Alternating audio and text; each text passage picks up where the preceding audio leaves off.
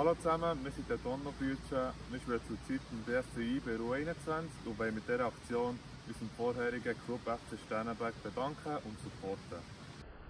Wir danken jedem, der uns unterstützt. Wir haben auch ganz coole Gegenleistungen wie Schutzschuhe oder eine Winterjacke und so weiter.